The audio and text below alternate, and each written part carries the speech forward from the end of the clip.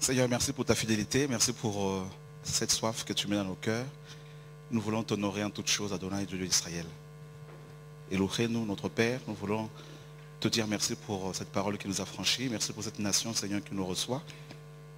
Seigneur, merci pour euh, l'amour de la vérité que tu as mis dans nos cœurs. Au nom de Yeshua. Amen. On m'a dit qu'il y en a qui sont là depuis 6 heures, d'autres 7 heures. Vraiment, euh, que le Seigneur soit béni. Nous sommes beaucoup, beaucoup encouragés. Et euh,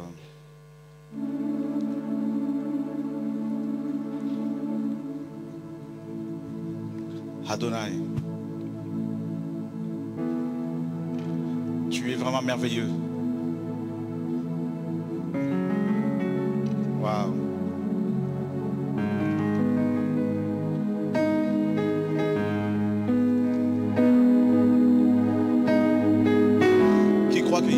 Yeshua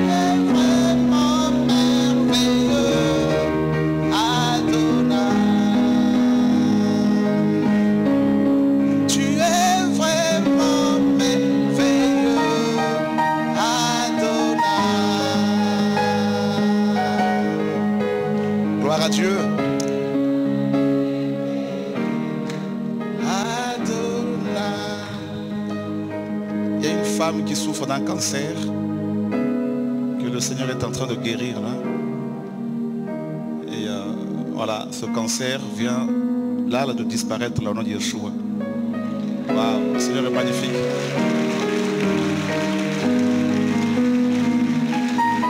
To see your face, Father, we love you, Lord my God. Oh, nous l'aimons, nous aimons sa présence. Father, we love you. Need you, Lord my God.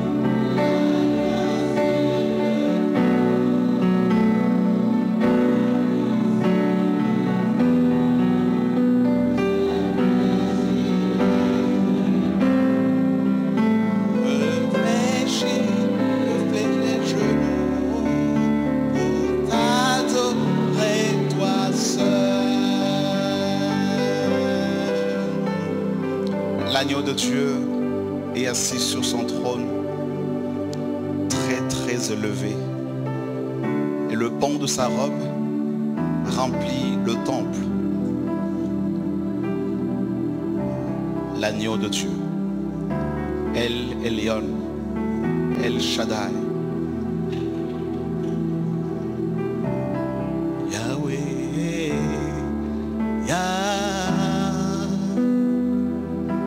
Ne pas t'aimer, papa Comment ne pas t'adorer, Seigneur? Comment ne pas te dire merci? Tu nous as créés à ton image, Seigneur. Tu m'as aimé, mon Père reçois ce chant nouveau, Père. Je t'aime Papa. Je t'aime. Je t'aime de tout mon cœur. Seigneur, laisse-moi te dire merci. Te dire merci, Seigneur. Adonai, roi des nations. Magnifique est ton nom, Seigneur. Tu es saint. Tu es saint. Tu es saint. Tu es saint. Alléluia. Gloire à Dieu. On va vous distribuer tout de suite des Bibles. Comme ça, vous allez pouvoir suivre le partage. Gloire à Dieu. Donc on peut prendre place. Ceux qui n'ont pas encore reçu la BJC, et euh, on va pouvoir vous euh, la donner tout de suite. Est-ce que vous voulez qu'on vous la donne tout de suite ou après? Ceux qui sont OK, d'accord. Donc euh, Julien va pouvoir nous aider. On espère, en tout cas j'espère qu'il y en aura assez pour tout le monde. Qui sont venus à Paris Ok, ceux qui l'ont déjà, qui ont déjà un exemplaire, s'il vous plaît, veuillez laisser, euh, parce qu'il n'y en a pas assez, donc laissez à ce que, laissez euh, ceux qui n'ont, pas encore reçu l'avoir. Il y aura une, euh, une autre version cette année et euh, avec une concordance.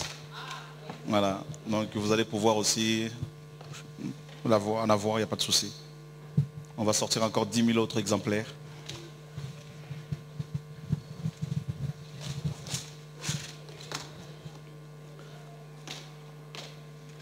Alors pour ceux qui ne savent pas, ne connaissent pas cette version, c'est la, c'est une Bible révisée à partir des textes euh, reçus. Euh, voilà, des textes alexandrins. Non, pardon, byzantins. Voilà. Et tout est gratuit, bien sûr. On ne doit pas vendre la parole de Dieu. Amen. Voilà. Il y a tout un commerce autour de la parole du Seigneur que nous devons dénoncer avec force.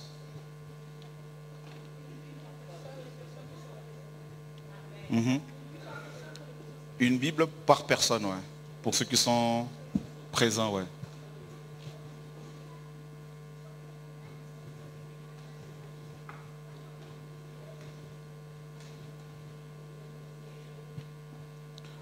On va faire une petite pause dans, dans une heure, c'est bon? Ok.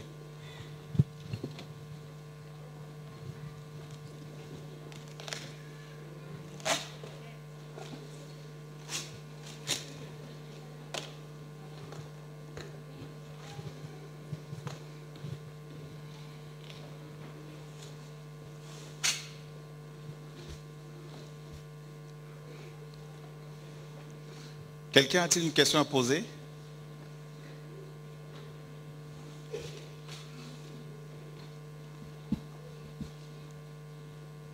Ouais.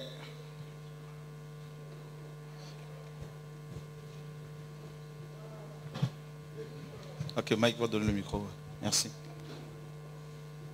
Dans Luc 6, à partir du verset, 20, euh, à partir du verset 6, Mhm. il est écrit, et il arriva un autre jour de sabbat qu'il entrait dans la synagogue et qu'il enseignait.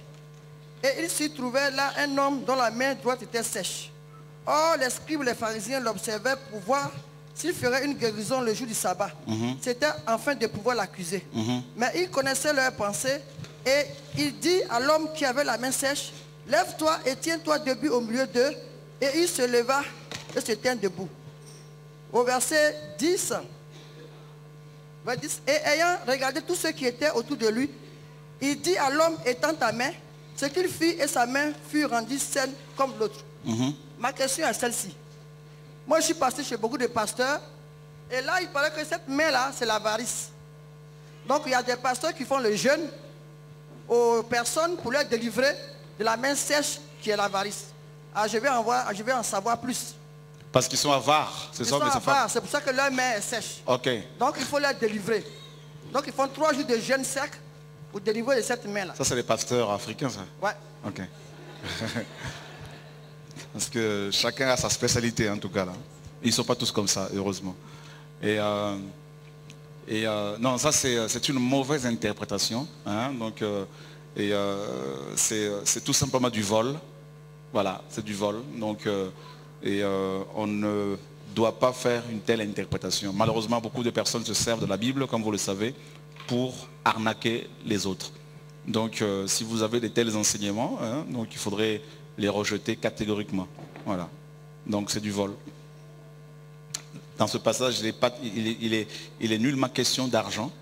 Donc, euh, cette personne était handicapée et le Seigneur l'a guéri physiquement. Voilà.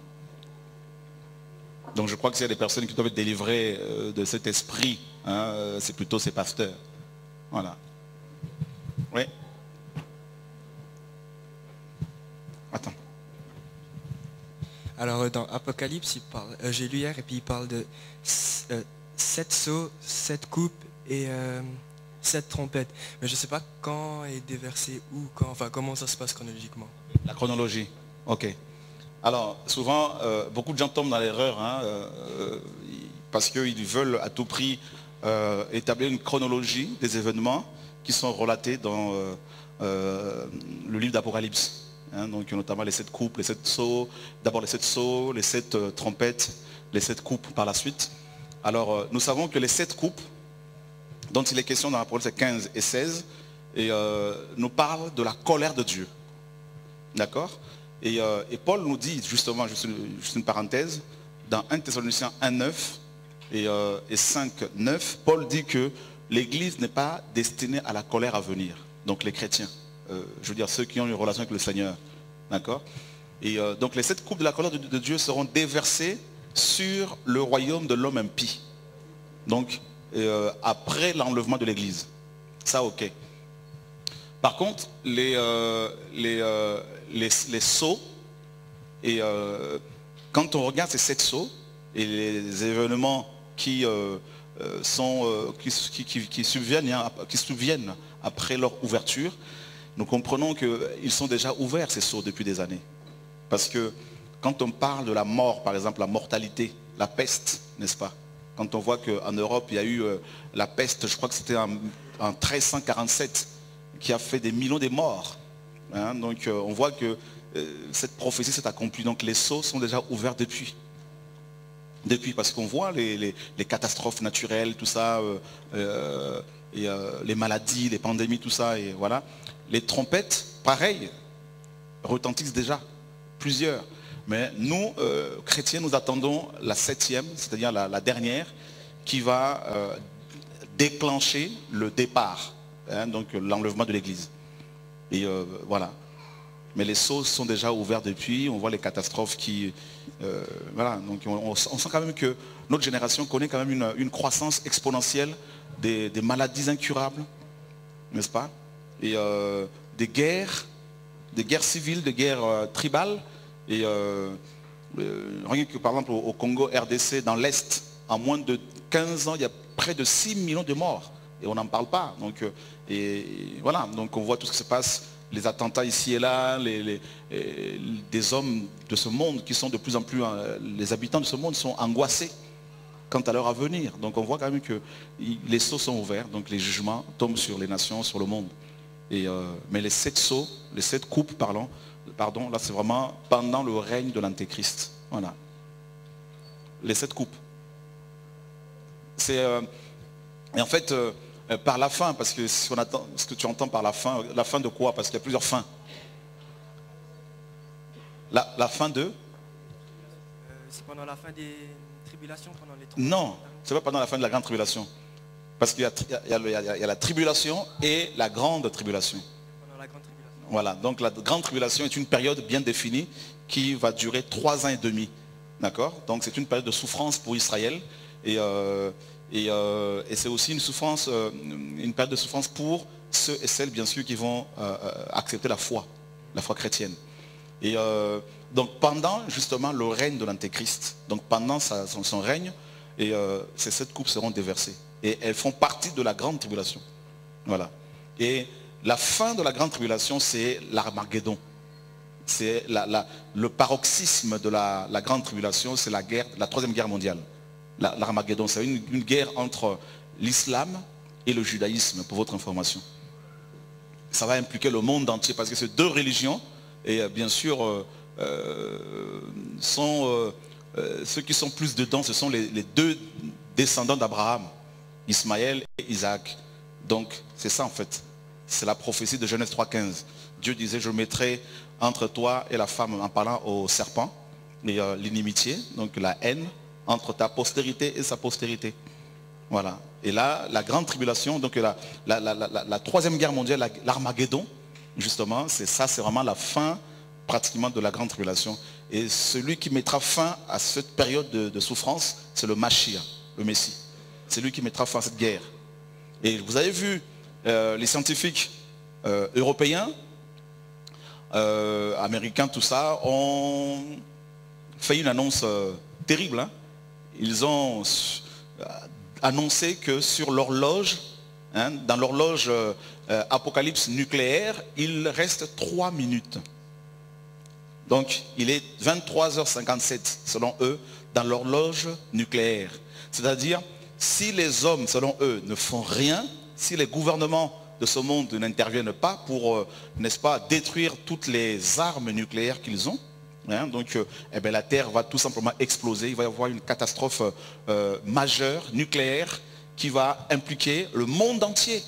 Rien que la, Russie, la première puissance nucléaire, compte 16 000 ogives, 16 000 bombes nucléaires. rien que la Russie, si elle utilise ne serait-ce que 1000 bombes, eh ben, je peux vous assurer que déjà toute l'Europe est complètement détruite. 16 hein. 000. Les États-Unis, 9 900 9, 999, quelque chose comme ça. La, France, 300. 300. Euh, L'Angleterre, 300. Et euh, la, la, Chine, entre 300 et, 200 euh, et 300. Et ensuite, vous avez l'Inde, 40 à peu près. Le Pakistan, 60.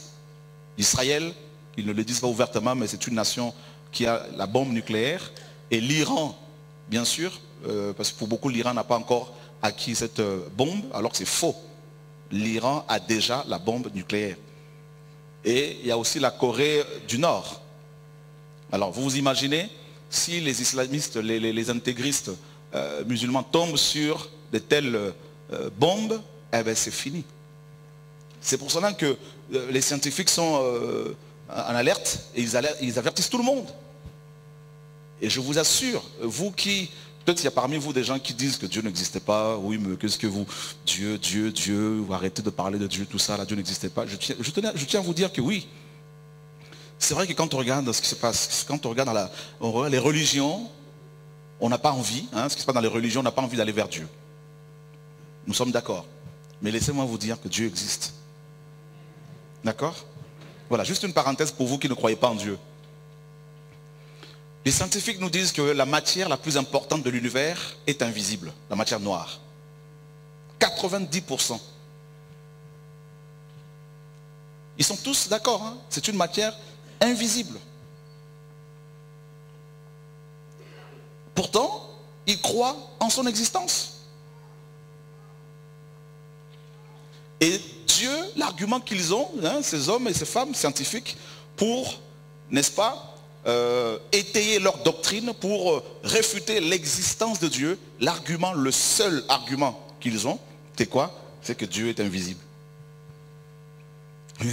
Écoutez, je leur dis à chaque fois, mais écoutez, messieurs les scientifiques, vous dites que Dieu n'existe pas parce que vous ne croyez pas en lui parce qu'il n'existe pas. Mais et la matière noire, est-ce que vous l'avez déjà vue? Voilà. Pourtant, vous croyez bel et bien en son existence. Pourquoi? Parce qu'ils disent, mais vous voyez, on, voit bien la courbe, n'est-ce pas On voit bien que... Vous savez, je, vais vous donner un exemple là. Vous savez, regarde. Je prends ce... Quelqu'un peut m'aider là, Julien, s'il te plaît?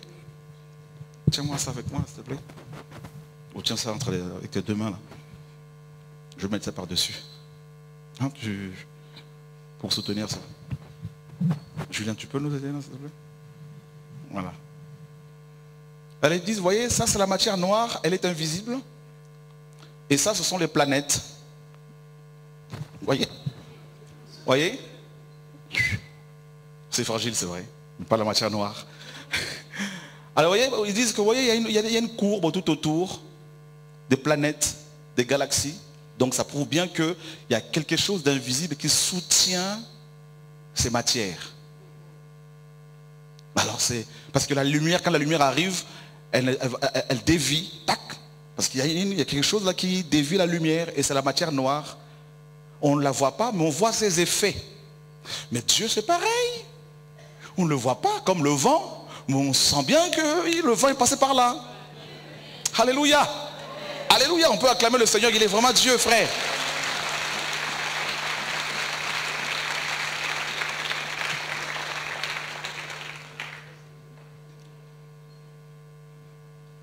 Il ne se trouve pas au Vatican, nous sommes d'accord. S'il y a un endroit où vraiment le Seigneur ne se trouve pas, c'est bien là-bas. Encore moins à Lourdes, hein, parce que là-bas les gens sont lourds. Avec leurs problèmes.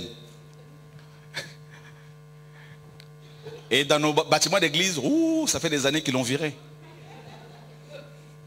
Ils l'ont remplacé par euh, le franc suisse, les euros. Vous voyez? Par l'euro, tout ça, il plus. Dieu est esprit. Il fut un temps où je me disais aussi que l'homme descend du singe. Hein. Mais un jour, j'ai bien réfléchi. Le Seigneur m'a aidé à, comprendre. Il faut l'intelligence divine. Je me suis dit, c'est bizarre parce que si mon ancêtre était un singe, les singes ont toujours quatre pattes. Donc c'est vrai que demain, on risque d'avoir quatre, euh, cinq ou dix pattes. Hein. Je ne sais pas, se retrouver à nouveau. Euh, non, Dieu existe. Alléluia. Et il est en train de revenir nous prendre le Machia. Laissez-moi vous dire, nous ne savons pas exactement le jour de son retour. La parole le dit. Mais si Dieu n'intervient pas dans notre génération, c'est que nous sommes tous morts. Oui. Parce que rien qu'avec les, armes que les hommes possèdent actuellement, je vous assure, la terre est sur une poudrière. Vous avez vu le nombre de, maladies incurables qui frappent les hommes aujourd'hui? Le nombre de cas de cancer? La nourriture que nous, mangeons est empoisonnée. C'est terrible. La terre est empoisonnée avec des pesticides, tout ça. L'eau que nous buvons, Dieu ne peut qu'intervenir.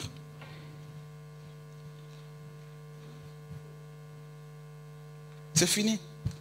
Je suis personnellement, je suis convaincu que notre génération est celle qui verra le retour du Mashiach. Vous avez vu le nombre de juifs qui rentrent en Israël en ce moment? C'est l'accomplissement de la parole prophétique. La Bible nous annonce que les juifs, n'est-ce pas, vont rentrer en Israël pour attendre le Messie. Et c'est le cas. Ils rentrent de plus en plus, de plus en plus. En Israël. Je suivais encore ce matin en venant, en allant à la gare, je, suis, je suivais euh, une émission vers 6 heures, toi par là, la radio, une femme euh, euh, euh, juive, mais d'origine tunisienne, hein, donc elle se dit en même temps arabe et juive, et elle est athée. Elle le dit, elle est française, hein, elle dit pour la première fois de sa vie, elle commence à envisager de rentrer en Israël, d'aller s'installer en Israël. On sent que Dieu est en train de presser les Hébreux, les Juifs, hein, les obliger à retourner en Israël. Et je vous assure, je vous dire une chose. Quand les Juifs quittent une nation, eh cette nation tombe. Ça c'est clair. C'est pas moi qui le dis. Il est écrit dans la Bible que Dieu n'a pas abandonné son peuple biologique. Attention. Hein. Alléluia. Il va revenir pour sauver Israël, justement, bien sûr, avec euh, les, Arabes, les, Noirs, les Blancs qui croient au, Messie, il n'y a pas de souci. Mais euh, c'est clair, parce qu'ils rentrent avec leurs biens. Donc le départ des Juifs de l'Europe va provoquer une crise majeure. Et cette crise est prévue. Les crises qu'on connaît actuellement, la crise économique, tout ça, c'est encore rien. Je tiens à prévenir tout le monde de la part du Seigneur. L'Europe va encore être plongée dans une crise sans précédent. Ce n'est pas seulement l'Europe. Ça va être terrible. Les Juifs, en entrant en Israël, ils vont repartir avec les biens. Ils vont prendre leurs richesses, ils vont partir avec. Et la pauvreté va prendre de l'ampleur en Europe.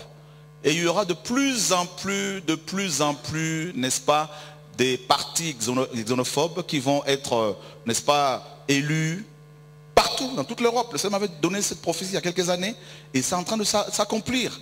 Et beaucoup, beaucoup, beaucoup, mes amis, beaucoup de chrétiens seront persécutés. Et là, ce n'est pas, pas ces chrétiens-là qui fréquentent des assemblées là pour euh, recevoir à chaque fois l'imposition des mains, qui vont payer la dîme à leur pasteur comme, euh, euh, si c'était leur patron. Leur, ce n'est pas ces chrétiens-là. Je parle de chrétiens qui sont attachés à la saine doctrine. Je parle des hommes et des femmes qui ont une relation avec Dieu. Ces hommes et ces femmes peuvent ne pas fréquenter une église locale, mais ils ont une relation avec le Seigneur. Ces chrétiens-là seront persécutés. Et Dieu permet ces choses que nous connaissons aujourd'hui pour faire le tri, pour préparer l'église véritable à l'enlèvement. Et des pasteurs, des pasteurs qui étaient séduits par Babylone, qui étaient séduits par la richesse, vont commencer à être récupérés, ceux qui sont de Dieu, récupérés par le Seigneur. Ils vont revenir au Seigneur, ils vont être réformés, n'est-ce pas, préparés pour le retour du Mashiach. Et vous verrez de plus en plus des voix prophétiques, des voix qui vont se lever ici et là, des hommes et des femmes parfois négligés, des enfants négligés, qui vont se lever de la part du Seigneur pour pouvoir annoncer le retour du Mashiach. Et du jour au lendemain, vous allez comment? Si vous apprenez qu'il y a des disparitions massives sur toute la planète, sachez que vous êtes restés. Par rapport à l'enlèvement de l'Église.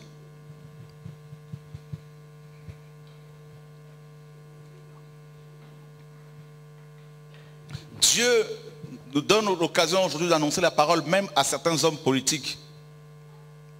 Il y en a un qui est venu me voir à la maison il y a quelques jours, il dit la politique c'est pas bon. Il le sait. Mais il n'est pas encore totalement converti, il voulait des conseils. Il est venu à la maison. Ancien ministre des Affaires étrangères de son pays, euh, ambassadeur de son, à l'ONU, tout ça de son pays, à New York. Je lui ai dit, là, là, il me dit, on partage. Et bizarrement, il commence à me sortir des choses qui sont prédites dans la parole sur ce qui se passe. Des choses, euh, certaines choses, je ne peux pas vous en parler ici. Ça m'a confirmé des choses que le Seigneur n'est plus loin. N'est plus loin.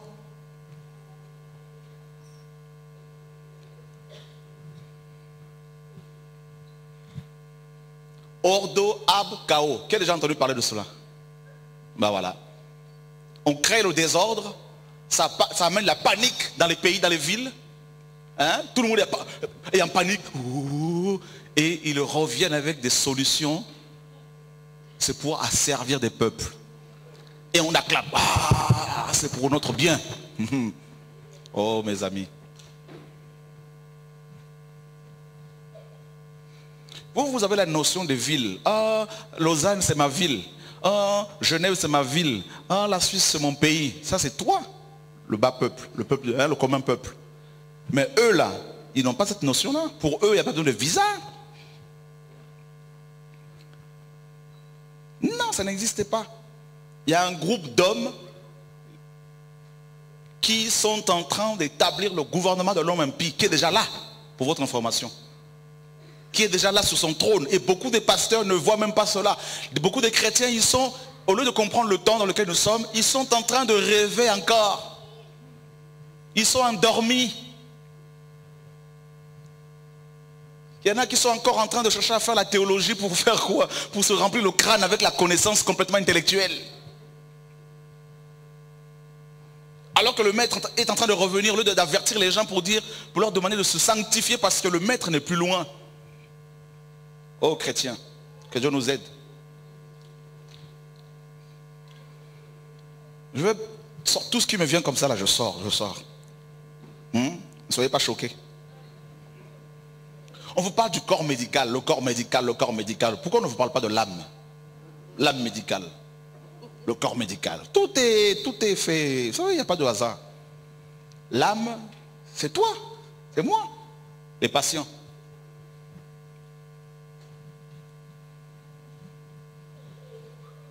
Pour que le corps existe, il faut que l'âme soit en vie. Donc les patients, pour qu'ils existent, il faut qu'il y ait des, pathologies des maladies, il faut les créer. Voilà. Ah, mais il est rentré à l'hôpital hier, et puis son cas s'est aggravé, cancer généralisé, mais comment c'est possible? Le lendemain, plus fini, il n'y a plus personne.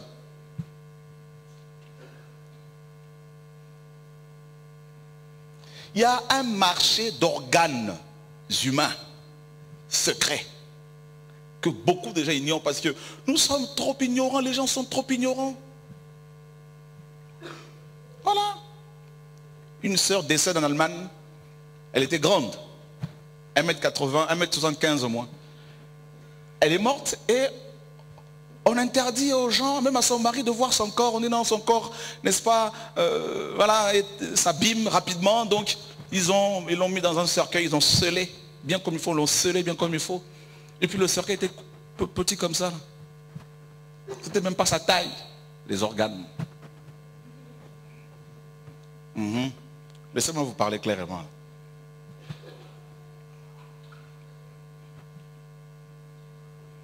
Tout ce qu'on va vous donner dans les églises, là, c'est quoi? Donnez la dîme, vous serez bénis. Dieu va vous bénir. Donnez la dîme, vous serez bénis. C'est comme les marabouts là que vous croisez, vous croisez à la sortie du, métro, là, vous savez, à Paris, avec leurs flyers, tout ça. Là. Hein? Retour de l'être aimé. Hein? Venez. Cherchez du boulot, venez. Ils sont au chômage eux-mêmes. Hmm? Retour de l'être aimé, ils sont célibataires. On ne donne que ce que l'on a. Vrai ou faux Et puis quand vous allez chez eux, ils écrivent bien voyant. Quand vous frappez à la porte, ils sont à l'intérieur et vous disent, c'est qui? Mais si vous êtes voyant, vous êtes censé voir, non? Mais les gens sont tellement lobotomisés qu'ils ne réfléchissent plus. Dis à ton voisin, nous avons des problèmes. Alléluia. Voilà. Les chrétiens, là, c'est Les chrétiens, c'est un peuple trop naïf. Quelqu'un qui vient les voir avec le parler langue, il dit, oh, c'est bon, c'est l'ange qui vient parler. Voilà. Ton mari est sorcier. Ah oui, c'est vrai, c'est vrai, j'avais des songes. Mais ton mari est sorcier. Du jour au lendemain, il devient sorcier. Mais s'il est sorcier, mais c'est à toi, la femme, de, sa femme, de pouvoir le, sauver. Surtout aussi, les, il y a des chrétiens vraiment bizarroïdes. Un petit cafard, là, c'est le diable.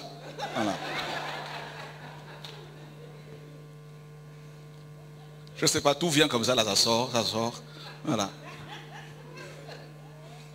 Ils prennent leur drapeau, ça danse comme ça, là, ils pensent que c'est ça le réveil. le réveil, le réveil.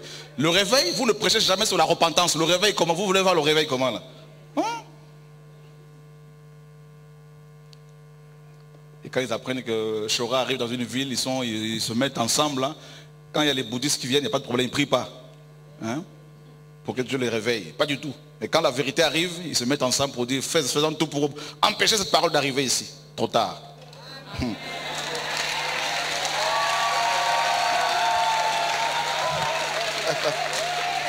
La Suisse connaîtra la parole de Dieu. Alléluia. Est-ce que vous savez que cette nation... Regardez bien sur le drapeau de la Suisse. Vous avez vu le signe de la croix là? Non, non. L'histoire. Il faut connaître l'histoire hein, de Genève là. Calvin, un travail énorme ici, là, mes amis, à Genève. Là. Hein. Michel Servet, un grand réformateur, a été brûlé vif, vif ici à, Genève. Mhm. Genève était comme un petit royaume de Dieu sur la terre. Voilà.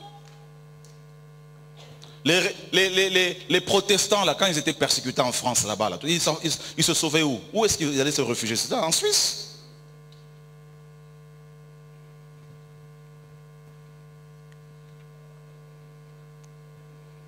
Oh chérie, on va à l'église aujourd'hui. On va pas à l'église. Non. Chaque dimanche, vous répondez à l'appel. Euh, Sœur Louise, présente pasteur. D'accord, c'est magnifique. Tu as ta dîme? Oui, pasteur, c'est bien. Frère Jacques, oui, pasteur Ok, il est là. Et la sœur euh, Odette, là, qui a épousé le Suisse, là, vous savez, le Suisse qui est banquier, là, tout. La sœur Odette, est-ce qu'elle est là? Non, elle n'est pas là. Téléphone, coup de fil. Sœur Odette, Dieu m'a dit que Satan rôde autour de toi. Frère, j'ai pas besoin que tu reçoives une prophétie pour savoir que Satan rôde autour de moi. La Bible dit que Satan rôde autour de moi. Ça suffit, ça suffit. Alléluia. Vous connaîtrez la vérité et la vérité vous affranchira. Voilà. Moi, quand ça sort, ça sort. Quand je finis, je prends mon train ou mon avion, je rentre.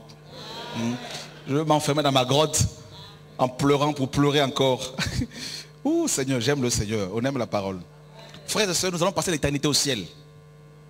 Oh oui, le ciel existe, hein, je vous assure. Le ciel existe. Regardez, psaume, euh, euh, euh, euh, euh, Apocalypse 20 21.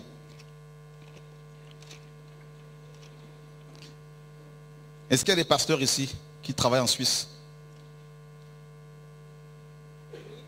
Oui? Ils sont là? Que Dieu soit béni pour votre présence. Apocalypse chapitre 21. Nous lisons le verset premier.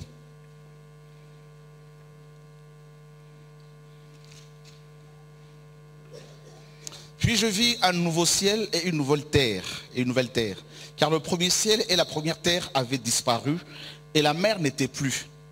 Et moi, Jean, je vis la ville sainte, la nouvelle Jérusalem, qui descendait du ciel d'auprès de Dieu, parée comme une épouse qui s'est ornée pour son mari.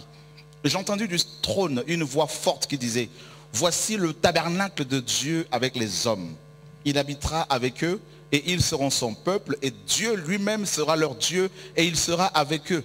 Et Dieu essuiera toute larme de leurs yeux et la mort ne sera plus.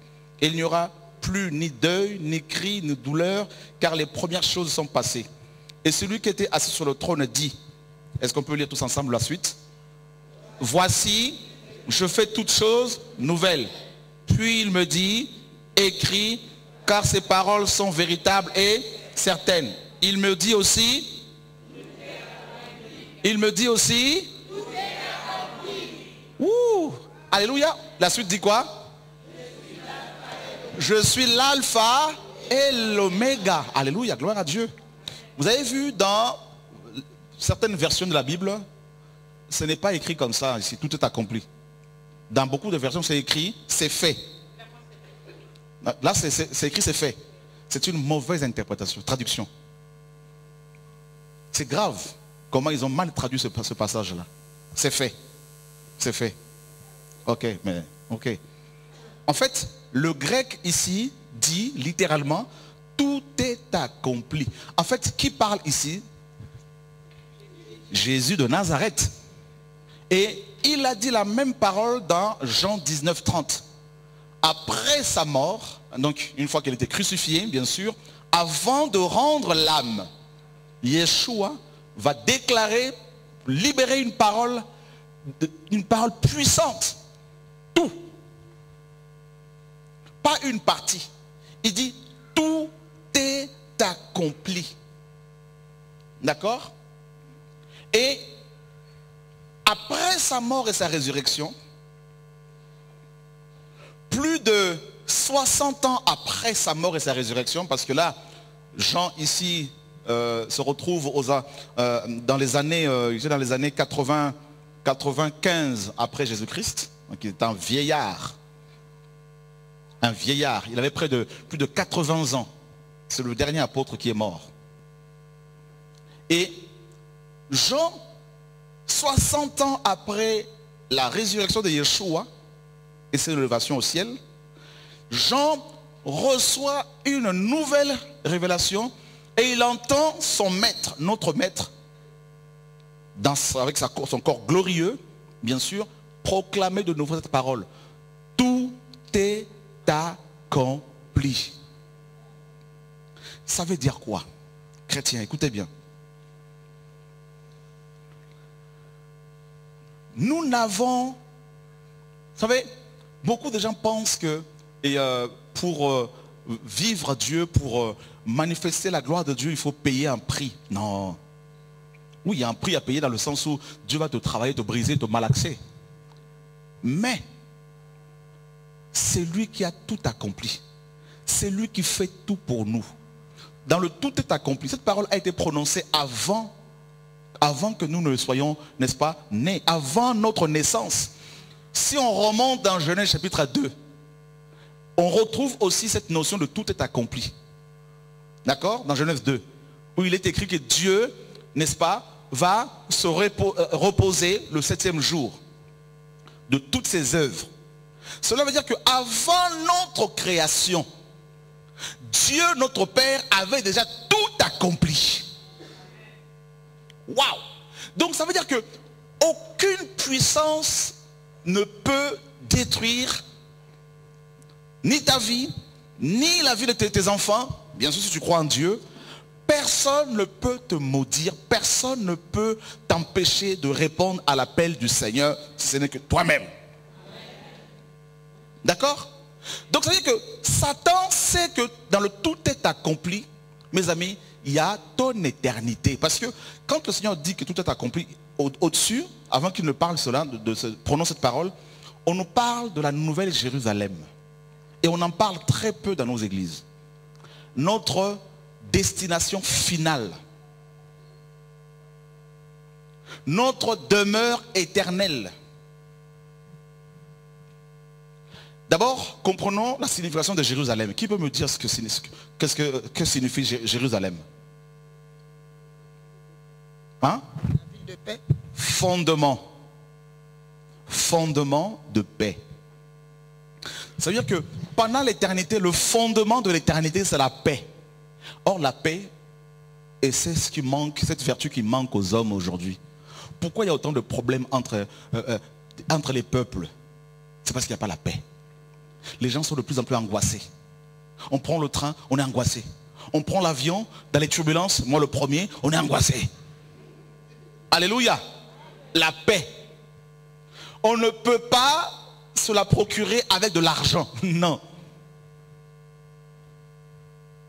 Le contraire de la paix, c'est quoi? Le tourment, les inquiétudes, l'angoisse, la peur. Regardez comment les, gens sont angoissés aujourd'hui. Quand ils vont ouvrir la boîte aux lettres, ils sont angoissés, les impôts. les factures. Il parle en langue en même temps. Hein. Seigneur, aide-moi s'il te plaît.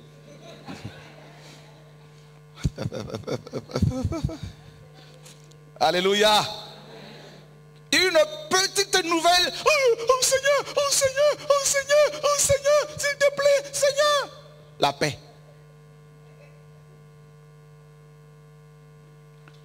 Quand il y a eu les, attentats à Paris, là, mes amis, là, tout le monde était secoué. Hein. Mais les vrais chrétiens étaient en prière. Mais je vous assure, ce n'est pas évident. Manquer la paix, c'est quelque chose. Hein. Le manque de paix. Le tourment. La souffrance. Le doute. La peur. J'envoie cette ville, la nouvelle Jérusalem. Mes amis, j'ai eu la grâce de la part du Seigneur de visiter cette ville. Oui, ça existe. Je ne suis pas un illuminé. Un jour, en prière, on m'a transporté, donc j'étais allongé, on m'a transporté. Un ange est venu me prendre, il m'amène au ciel, et j'étais là avec lui en train de me balader dans les rues, les grandes avenues de cette ville nouvelle. Mais elle n'est pas encore habitée, attention. Il y avait une paix, c'est une paix indescriptible, une paix qu'on ne trouve nulle part sur terre. Des maisons qu'on ne voit pas sur terre. Et l'ange qui me faisait visiter cette ville me, parlait comme un homme parlait à son copain. Et il me disait, tu vois, la paix qu'il y a ici, il faut la manifester, il faut la témoigner, il faut l'expérimenter, il faut la partager avec les habitants de la terre. Yeshua a dit, je m'en vais dans Jean 14, vous préparez une place. Il y a plusieurs demeures. Il a dit, il y a plusieurs demeures. Pas une seule demeure, plusieurs. Dans la maison de mon Père, ou chrétien, nous passerons l'éternité dans la maison du Père. Vous vous rendez compte? Le Créateur, ton, ton Dieu, tu le verras face à face. Tu verras la couleur de ses yeux. Tu vas pouvoir toucher ses cheveux. Oui, ma soeur. Oui, c'est Jésus, mais on arrive, il n'y a pas de souci. vous allez poser des questions. Le Créateur, c'est Jésus, bien sûr.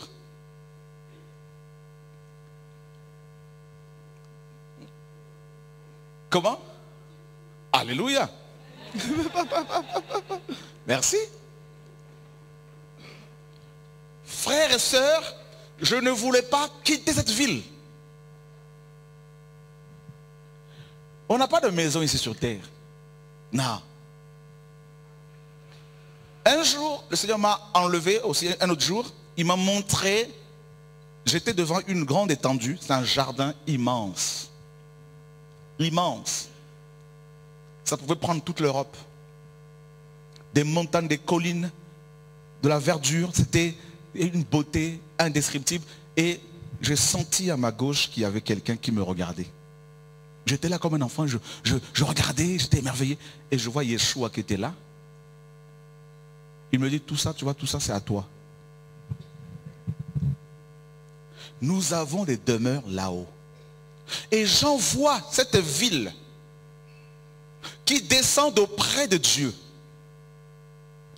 Dans Hébreu 11, on nous dit que les hommes et les femmes qui ont expérimenté la foi d'Abraham avaient les yeux fixés sur cette demeure.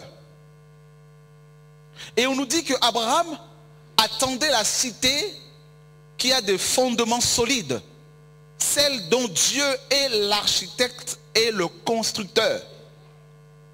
Et la parole nous dit que si ces hommes et ces femmes avaient leur, leur pays en vue, ils auraient eu le temps d'y retourner.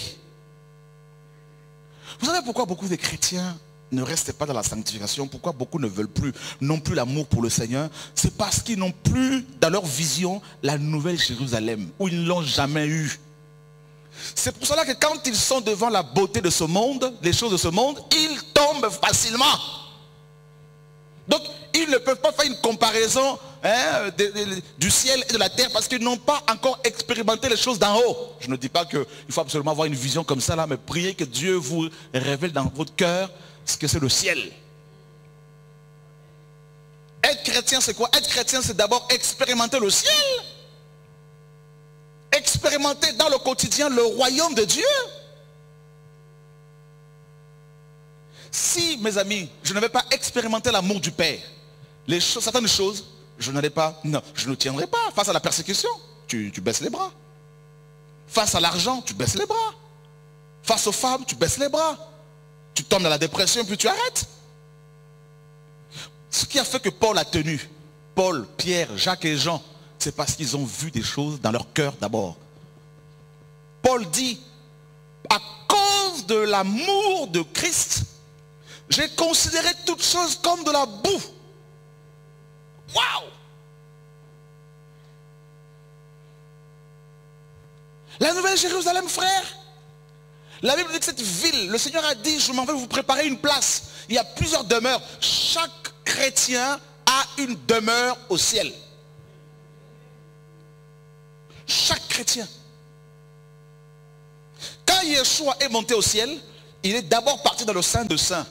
Il a déversé son sang. Il a obtenu la rédemption éternelle pour nous, le salut. Il a obtenu l'Esprit de Dieu pour le déverser sur nous. Mais il ne s'est pas arrêté là. Il avait dit qu'il allait préparer des places pour nous. C'est l'architecte par excellence. Il a commencé maintenant à bâtir cette ville pour toi et pour moi. Alléluia. Mes amis, c'est pour cela qu'un vrai chrétien n'a pas peur de la mort. Non.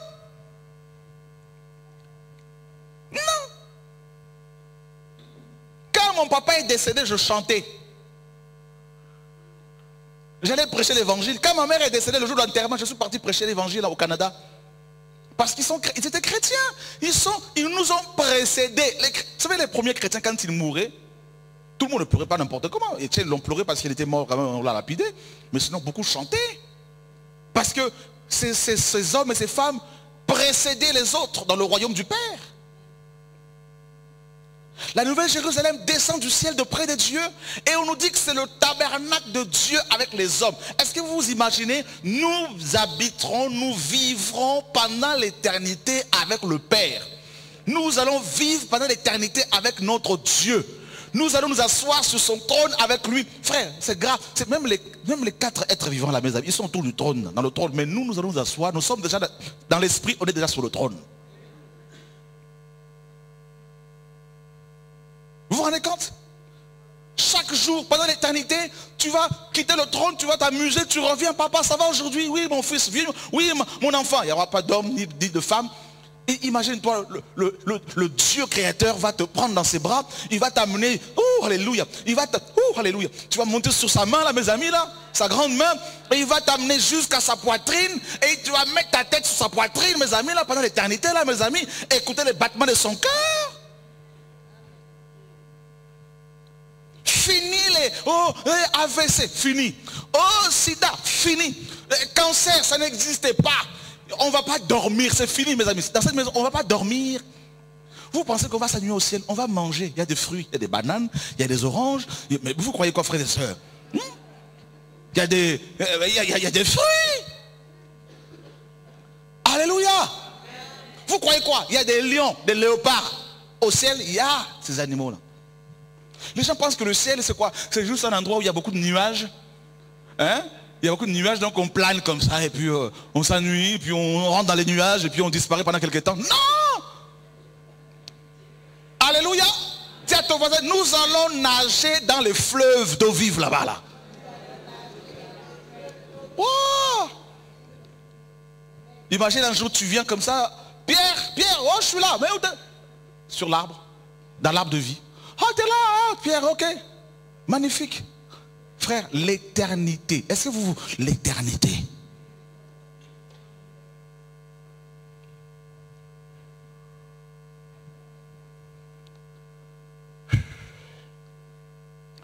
Dans le premier tabernacle, seul le souverain sacrificateur avait le droit d'y entrer. Et encore, il fallait qu'il attende un seul jour par an le 10 du mois de Sri ou de Tanim. Pour y entrer ce jour-là plusieurs fois dans le tabernacle, dans le sein de saint. Et encore, quand il y entrait, il fallait l'attacher et il avait une chaîne avec des clochettes. Et quand il travaillait, il faisait ses, euh, sacrifices, il y avait tout ce qui, ce qui était à l'extérieur entendait le bruit. Donc il se disait, il est en mouvement, il est en vie. Et quand il y avait un silence, c'est qu'il était mort. Il ne fallait pas aller chercher son corps parce que tout le monde, si tu rentrais là pour chercher son corps, tu étais foudroyé. Il fallait tirer la corde. Comme ça, là. Aaron est cadavéré, il est mort là, Aaron, là. Oh, on le sort, là. Ça, c'est le premier tabernacle. Et le Saint de Saint, c'était le trône, là où il y avait la gloire de Dieu. Les chérubins. Il y avait le Saint de Saint, le lieu saint et le parvis. Eh bien, laissez-moi vous dire, frère, la nouvelle Jérusalem, c'est la même chose. Il y a trois parties. Il y a le parvis. Le parvis, sous Moïse, tout le monde pouvait y accéder. Les étrangers, les femmes, les non-juifs, pas de problème. Il y avait un parvis dans le temple de Salomon. Il y avait un parvis pour les étrangers, comme le, le, éthiopien dans le, le temple d'Hérode.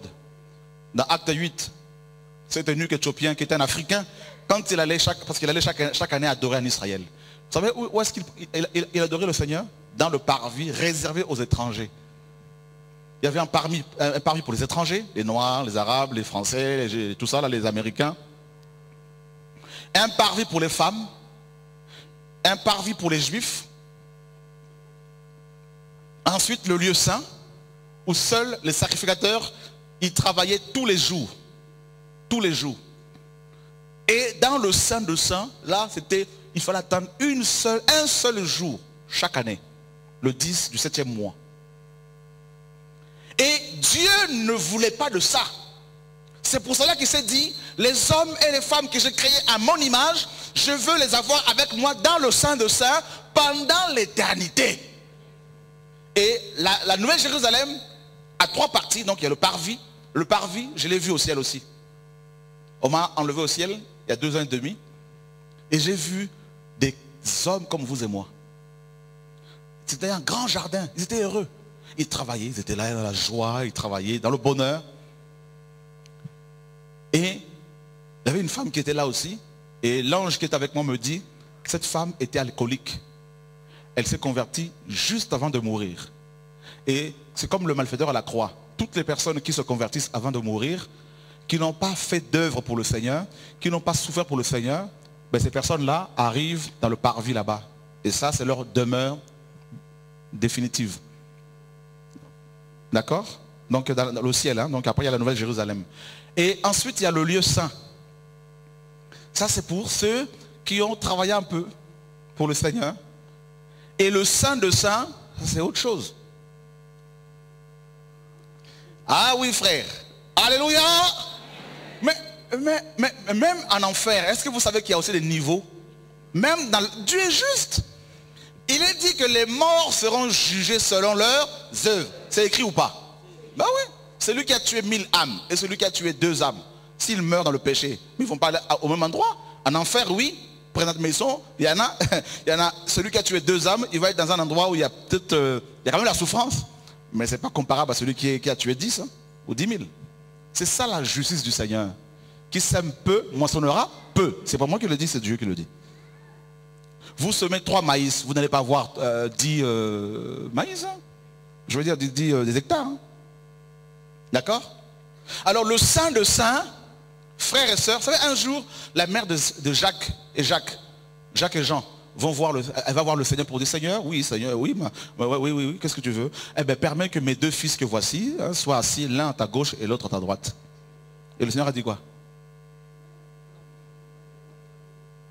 Ces, places-là sont réservées à certaines personnes. Hein.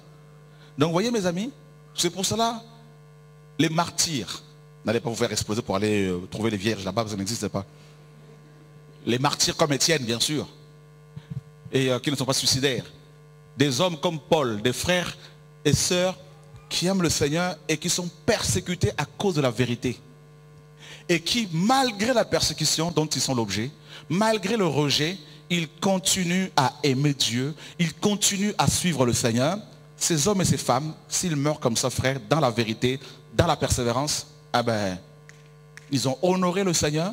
Le salut est gratuit, mais ils ont honoré le Seigneur. S'ils décèdent, mes amis, ah ben, ah, ils sont autour du trône. Hein. Ah oui. Un frère m'appelle il y a quelques jours. Il m'a appelé, il me dit, j'étais en prière, Dieu m'a, il était en prière, il s'est endormi un peu, Dieu l'a ravi au ciel. Il arrive au ciel, il voit des pasteurs, il voit des chrétiens, il voit beaucoup de gens qui adoraient le Seigneur. Et puis, il, dit au Seigneur, il, dit à l'ange qui est avec lui, il dit, mais, euh, où est tel euh, frère? Tel prédicateur Et l'ange lui a fait un sourire. Et il lui dit, tu veux le voir? Il dit, oui, oui. Et il dit, regarde devant. Il a vu de loin, il dit, le frère était là-bas devant le trône. Il était en train d'adorer le Seigneur devant le trône. Et il a été comme attiré vers le trône et il a vu cet homme à genoux en train d'adorer. Et il se dit en lui-même, ah je comprends pourquoi euh, euh, il y a des choses qui se passent comme ça parce que ce monsieur est devant le trône. L'ange Gabriel a dit quoi à Zacharie? Je me tiens devant le trône. Et Apocalypse nous parle de sept anges qui se tiennent devant le trône de Dieu. Tous les anges ne sont pas devant le trône. On est en Suisse ici. Est-ce que tout le monde vit avec le président, la présidente, la présidente ou président ici? Le président? La présidente? Est-ce que tout le monde est au palais là-bas? On est tous en Suisse, hein Mais c'est ça le royaume de Dieu. Il faut comprendre la nouvelle Jérusalem. Frère, c'est pour cela que Paul disait aux chrétiens, travaillez dans l'œuvre du Seigneur parce que Dieu va vous récompenser. Alléluia. Oui. Vous savez pourquoi quand euh, on me persécute parfois là, je, je n'abandonne pas? Parce que le salut, on l'a gratuitement. Mais les couronnes là, mes amis là, c'est des récompenses. Il faut bosser. Dis à ton voisin, il faut travailler. Ah oui. Quand tu vois un SDF là, tout ça tu ne t'occupes pas de lui. Tu es sauvé, non? Par, la grâce, oui. Tu veux des couronnes, mais il faut bosser. Il est dit quoi dans Apocalypse 14, 13 Bénis sont ceux qui meurent dans le Seigneur, car ils se reposent de leurs travaux et leurs œuvres les suivent. Mais toi, tu vas te reposer de quels travaux? Tu veux mourir, oh, oh, j'en peux plus, Seigneur, il y a beaucoup de persécutions. Oh, oh, j'ai la dépression, je veux mourir, Père, prends-moi. Ah ben non, tu ne vas pas rentrer tout de suite. Hein. C'est comme si un jeune de 20 ans va voir le gouvernement suisse pour dire, écoutez, euh, moi j'ai 20 ans, je viens à peine de commencer le boulot, ça fait un an que je travaille, je veux tout de suite être en retraite. Ça va, mon coco, il y a un problème Avoir la retraite, là, il faut bosser d'abord là. T'as semé quoi pour avoir la retraite? Il faut travailler. Eh bien, tu vas avoir une bonne retraite là-haut là. Eh bien, il faut commencer à bosser dès maintenant là. Alléluia. Dis à ton voisin, il faut travailler. Oui, oui. Il y en a, ils sont trop dépressifs là chez les chrétiens là. Moindre bobo, Seigneur, enlève-moi, enlève-moi. Dieu dit, non, non, non, tu n'as pas encore travaillé pour moi. Jonas, Seigneur, enlève-moi, la mort m'est préférable à la vie. Oh non, Jonas, tu dois prêcher l'évangile à Ninive encore. Oh Seigneur, Dieu, mes amis, Dieu, Dieu, il y a beaucoup, beaucoup qui sont, ils sont lâches, beaucoup sont lâches parmi les chrétiens. Moindre bobo, euh, euh, euh, Dieu ne m'aime pas. Je suis le premier frère. Faut, faut, vous faire. Je suis un homme comme vous. Parfois, là, quand ça me chauffe, là, oh là là, là c'est compliqué. Mais je ne demande plus qu'il m'enlève parce que mes enfants sont encore petits, je n'ai pas encore travaillé. Je n'ai même pas encore fait 20% de ce qu'il attend de moi. Donc je suis encore loin d'avoir accompli quoi que ce soit. Tu vas mourir pour aller où? J'ai assisté à une personne qui est décédée. Donc j'ai assisté à une personne qui est décédée par Dieu il n'y a pas longtemps. Elle était là en train de, mourir. Et son épouse m'a dit quelque chose qui m'a très touché. Elle m'a dit, mon époux est en train de mourir. il est décédé depuis. Il est en train de mourir et il y a un sentiment d'inachevé par rapport à l'œuvre de Dieu. Ça fait quelque chose chrétien. Beaucoup de chrétiens n'auront pas de couronne. Vous savez pourquoi? Parce qu'ils sont lâches. Parce qu'ils baissent les bras à cause des pasteurs qui les ont dépouillés. Ils ne veulent plus servir le Seigneur. Parce qu'on leur a fait croire que servir Dieu, c'est être membre d'une église locale. Être enfermé dans un bâtiment. Alors qu'ils ont oublié qu'ils peuvent, avec leur salaire, prendre de la nourriture, aller donner au SDF dehors. À mes amis, prendre des Bibles, aller les distribuer partout. Dans la rue, aller annoncer l'évangile dans les métros, dans les gares. Simplement parce qu'on vous a dit que servir Dieu, c'est aller dehors, prendre les âmes, les amener dans le bâtiment pour que le pasteur prenne la dîme. C'est pour cela que beaucoup, quand ils vont mourir, Dieu va leur dire, qu'est-ce que vous avez fait pour moi? Vous avez fait quoi pour moi? Oh mais Seigneur, tu sais, j'avais ton talent, mais j'avais, j'avais, j'étais tellement timide, Seigneur, j'étais timide. Ah bon? Je vais vous donner quelques pistes pour vous encourager à mieux servir le Seigneur. De temps à autre, je demande au Seigneur ce qu'il attend de moi. En 2001, en prière, je lui dis, Seigneur, qu'est-ce que tu attends de moi? Parce que je suis là, je prêche à gauche, à droite, mais peut-être que je ne fais pas ce que tu attends de moi. Je m'endors, le Seigneur vient me visiter, il me dit, il m'a montré un enfant de 9 ans avec un sac sur la tête. il ne savait pas où dormir. Il n'avait pas à manger. Et je lui pose la question, je lui demande, mais que fais-tu? Où vas-tu? Il me dit, je ne sais pas où aller. Et quand je me suis réveillé, le Seigneur m'a dit, construis-moi des orphelinats.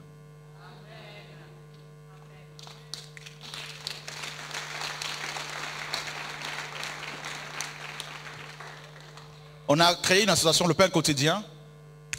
Un frère m'a donné un véhicule, je l'ai vendu, je suis allé au Congo, on a acheté un terrain, on a construit notre premier orphelinat. On va au Bénin, on a pris euh, un autre orphelinat avec 50 enfants. Au Congo, avec 50 enfants. Il y a déjà au Congo plusieurs enfants qui ont déjà eu leur bac, qui sont à la fac. Il y en a qu'on les a récupérés, ils avaient 8 ans, 9 ans. En Russie, il y a au moins 120 enfants russes. Euh, euh, en Haïti, ils sont au moins 120. une sœur veut me voir, elle me dit, Dieu m'a dit de m'occuper des veuves. Je lui dis, il faut y aller. Elle a créé une association, elle a commencé à aider les veuves, tout ça, et elles sont une centaine. Et des veuves ont commencé en Afrique à témoigner de ce qu'elles vivaient. Ces veuves, il y en a qui disaient comment elles étaient violées par les enfants de la rue. Elles dormaient sur les marchés. Des femmes de 70 ans, 80 ans, dehors, violées par des, des- des- enfants de la rue. Aucune église ne s'en occupait. Chaque pasteur était oc- occupé à voir le plus grand bâtiment de la, de- de- du, pays, la plus grande église numériquement parlant, le plus grand 4x4, tout ça là, une chaîne de télé, mais très peu s'occupent de tous ces gens-là qui souffrent.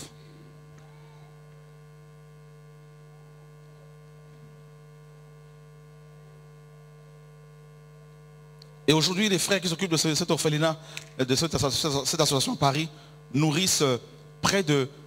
Ils ont déjà ouvert près de 200, près de 20 euh, épiceries solidaires. Des magasins comme Carrefour, tout ça donne la nourriture gratuitement, des denrées, des kilos et des kilos de, de, de alimentaires, et on va distribuer. Et on est en train de, de loger des SDF à Paris, dans les bâtiments qu'on a, un bâtiment qu'on a acheté il y a 12 ans, à Courcouronne. Et même la mairie est très interpellée par le travail, le que le Seigneur fait avec ces jeunes. Près de 200 familles sont nourries chaque mois, gratuitement. On leur a dit la nourriture, venez avec vos caddies, faites des courses dans, ces, ces épiceries-là. C'est gratuit. Les gens sont gratuits. On dit c'est gratuit. Nous avons reçu gratuitement. Nous donnons gratuitement. Dis à ton c'est ça l'évangile.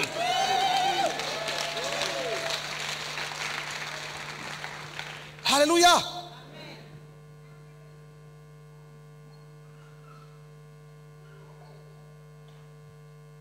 Frères, sœurs,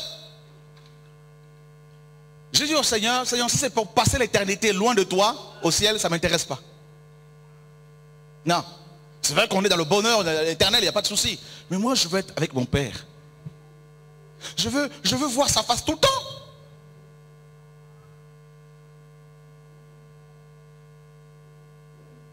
Paul, lapidé, il continue à faire le travail. Paul, persécuté, il continue dans l'œuvre. Face à l'adversité, Paul n'a pas baissé les bras. Pierre non plus, Jacques non plus, Jean non plus. Mais ces hommes et ces femmes étaient de la même nature que nous, frères. Nous ne sommes pas obligés de, tous mal finir, de tous finir dans le péché. Non.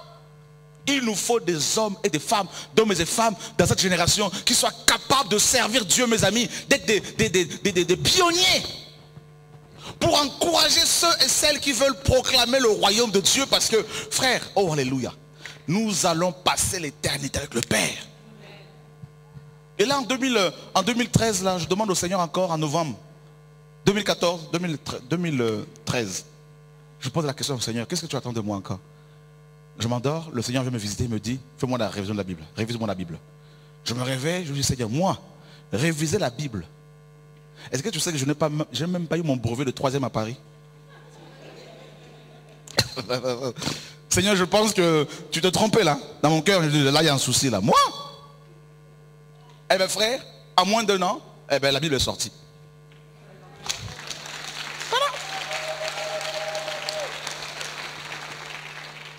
Il fallait 10 000, il fallait 86 000 euros. Eh bien, en moins de 8 mois, on a eu plus de 100 000 euros.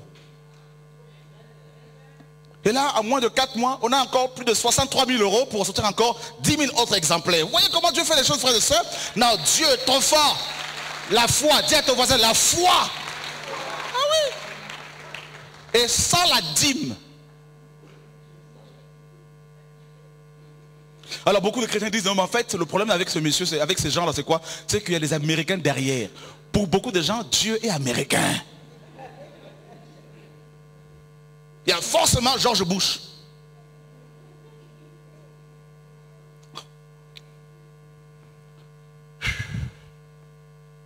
Qui veut servir le Seigneur? Pour se reposer de nos travaux, parce que les œuvres vont nous suivre. Les œuvres vont nous suivre. Nous ne sommes pas sauvés par les œuvres, nous sommes d'accord. Mais il y a des œuvres que Dieu a préparées d'avance pour nous. Je vous dis une chose. Un jour, Dieu m'a fait, fait comprendre quelque chose. Un vrai enfant de Dieu, s'il meurt, s'il craint Dieu, s'il meurt, c'est qu'il a fini sa mission. Donc il ne faut pas pleurer, il faut bénir Dieu. D'accord?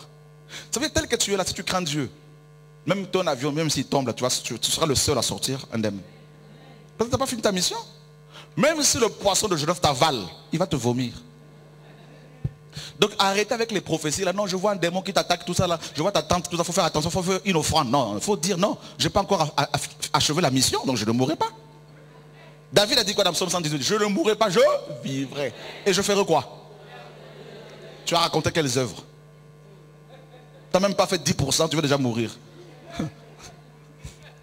Alléluia Oh, on m'a dit que ma tante allait me tuer. Non, mais arrêtez avec vos veillées, vos veillées annuelles. Le 31 décembre, les Africains aiment trop ces veillées. Pour faire des veillées prophétiques pour l'année qui commence, l'année de bénédiction, l'année de ceci, l'année du poisson, l'année de la, je ne sais pas quelle année, là, mes amis. Vous n'êtes pas fatigués avec vos années bizarroïdes, tout ça là. Dis à ton voisin, arrêtez ces choses-là. Le 31, tu peux dormir, tu ne mourras pas. Alléluia. Si tu es fatigué, repose-toi.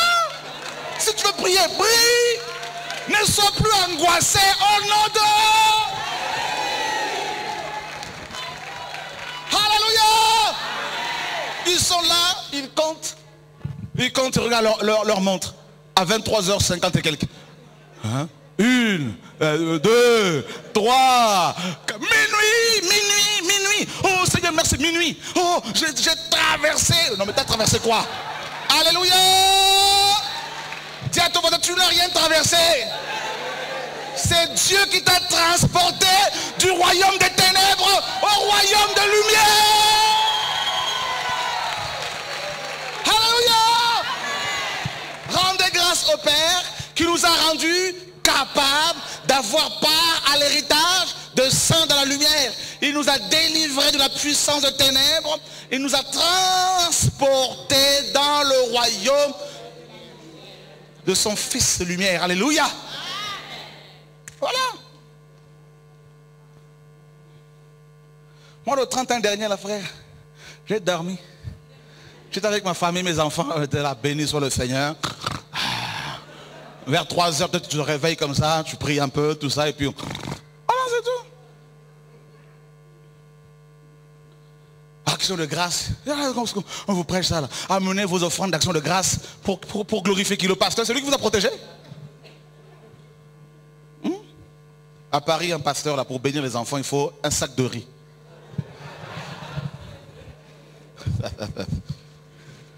Prenez ce sac de riz là. Allez donner ça à vos- à- au resto du cœur ici là.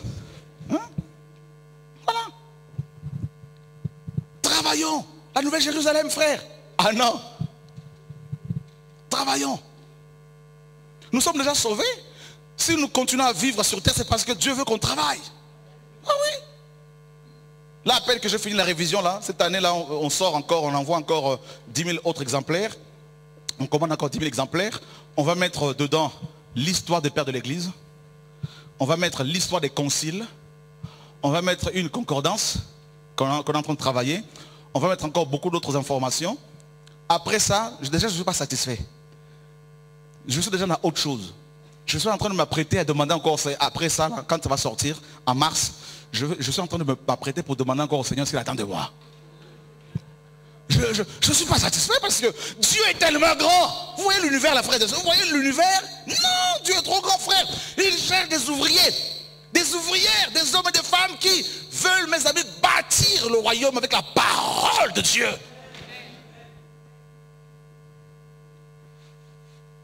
Et le jour de ton enterrement, si le Seigneur ne revient pas, quoi que je pense qu'on va le voir quand même, on, verra son retour.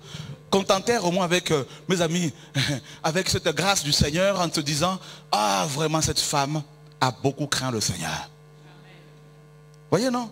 Ah, elle a proclamé la parole. Elle a encouragé des, des personnes qui étaient abattues. Ah, cette jeune fille, elle était, elle était pure. Ah, ce jeune homme se sanctifiait. Ah, cette femme, elle aurait pu divorcer, mais elle a refusé d'obéir à l'ennemi. Elle a préféré suivre la parole de Dieu. Ah, cet homme aurait pu tromper sa femme, mais il a refusé.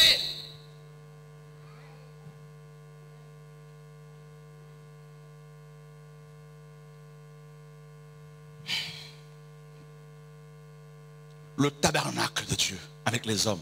Ce n'est plus le tabernacle de Dieu avec le souverain sacrificateur ou le grand prêtre, mais avec tous les hommes. Vous vous rendez compte, mes amis?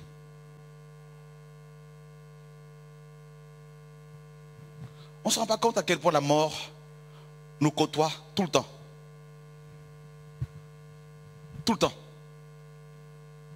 Mais on était avec hier. c'est fini. Mais on a mangé ensemble hier, hier soir. Ah oui, c'est fini. Quel âge as-tu aujourd'hui? Yahweh, dis-moi quel est le terme de ma vie? Afin que je sache combien je suis fragile. C'est 70 ans. Est-ce que tu as 60 ans? Il te reste 10 ans. 70 ans, alors là, c'est une grâce. Tu as 30 ans, il te reste 41 encore, il faut éviter les aléas de la vie. Nous devons être toujours prêts. On pour le Seigneur. Va être dans cette ville. Quand cette terre sera détruite, parce qu'elle sera détruite. Ta belle maison, là, elle sera détruite, mon frère. Ton jardin que tu aimes, là, tout ça, là. Ah oui. Je ne dis pas qu'il ne faut pas l'aimer, mais sache quand même qu'il faut lui rappeler quand même qu'il sera détruit.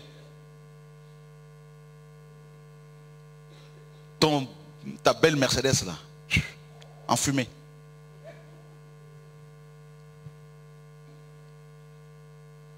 Oh, j'imagine pendant l'éternité, j'irai voir mon frère Julien. Comment vas-tu, mon frère? Oh, quelle maison, merci Seigneur. Hein? Oh, tu te rappelles ce jour-là, comment tu as tenu ferme, vraiment, là, je comprends pourquoi tu as cette maison-là. Hmm? Ah, comment vas-tu, ma soeur Que Dieu soit béni, vraiment, tu as tenu ferme. Le jour de l'enlèvement, on va se reconnaître. Hein? Quand on va partir, on va monter. À la septième trompette, là. Seuls les chrétiens qui craignent Dieu qui l'entendront. Oui. On va monter comme ça. On va, nos, vêtements, là, tout, va rester. Imaginons, on va monter comme ça. Oh, Julien, attends, tu montes. Oh là là, oh là, telle soeur. Gloire à Dieu, magnifique le Seigneur. Waouh, à la rencontre du Maître. Jésus de Nazareth. Vous savez comment il est beau? Je n'ai jamais vu un homme aussi beau. Son regard, il m'a fait la cour, il m'a dragué, je me suis laissé draguer parce que mais, mais il parle, mais il, a, mais il est beau. Frère, le tabernacle de Dieu, vous savez c'est qui aussi? C'est Jésus. Jésus est le tabernacle du Père, Jésus-Christ est homme. En lui habite corporellement. Le tabernacle, c'est pas seulement la Nouvelle Jérusalem, mais c'est aussi le corps humain. Ça veut dire tel que nous sommes, nous serons dans ce corps-là. On y est physiquement, on sera pendant l'éternité. Donc tel que tu es, tu es déjà dans le tabernacle spirituel. Tu es protégé. Que mille tombent à ta gauche, dix mille à ta droite. Jamais. Tu ne seras atteint.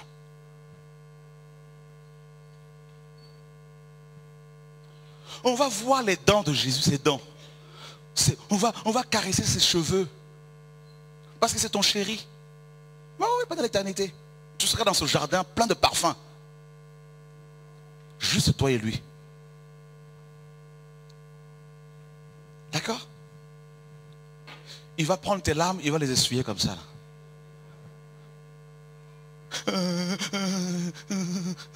Et c'est fini. Au ciel, on ne va plus se rappeler, de tout ce qu'on aura vécu sur terre. Fini. Tout est oublié. Nous aurons l'éternité pour visiter. même l'éternité ne sera pas suffisante pour tout visiter. Vous vous rendez compte? On va aller visiter toutes les, planètes que le Père a créées. On va se balader partout. On ne va pas s'ennuyer. Jamais. Jamais. On ne va plus, mes amis, grandir, vieillir, tout ça là. quand j'ai vu l'archange, euh, quand j'ai vu l'ange euh, Gabriel, moi je m'attendais à voir un, ange qui avait au moins 80 ans. Il faisait au moins 20 ans. Il avait 20 ans. Gabriel. Frère, je l'ai vu Gabriel comme je vous vois mes yeux. mon frère, je l'ai vu comme ça, on a parlé. Il est ni blanc ni noir. Non. C'est comme si vous dites le soleil, il a quelle couleur? Je dis Gabriel, personne ne m'a dit que c'était Gabriel. Je l'ai su. Je lui pose des questions. Michael était un peu plus loin là-bas. Je lui dis Gabriel, alors les ustensiles ici, parce qu'il y avait les ustensiles, il y avait le chandelier, il y avait plein de choses du, temple. Je lui demande, mais qui sont ceux qui s'occupent de tout ça là? Il me dit, c'est nous. Il y avait tous les archanges, les chefs qui étaient là. Il y en a qui faisaient 7 mètres. 7 mètres. Des gaillards comme les soldats romains, mais énorme. Une, un, seul pied là, c'est si, mais ça vous, ça vous, oh, vous êtes écrasé. Costaud. Les guerriers.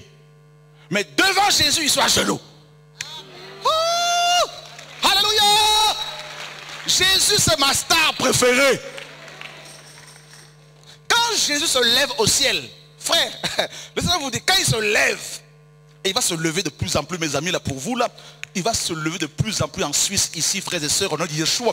Il va se lever, il va se lever pour toi, au nom de Yeshua. Une nouvelle onction prophétique va t'accompagner pour aller annoncer le retour de Machia au nom de Yeshua. Alléluia. Une nouvelle onction sur toi là.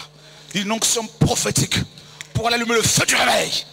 Oh, alléluia. Il y a quelque chose ici là. Comme, comme un fleuve d'eau vive qui commence à couler en ce lieu. Des jeunes filles complètement remplies de l'onction de Dieu pour aller parler en langue prophétisée, annoncer le retour du Machia au nom de Yeshua. Oh, alléluia.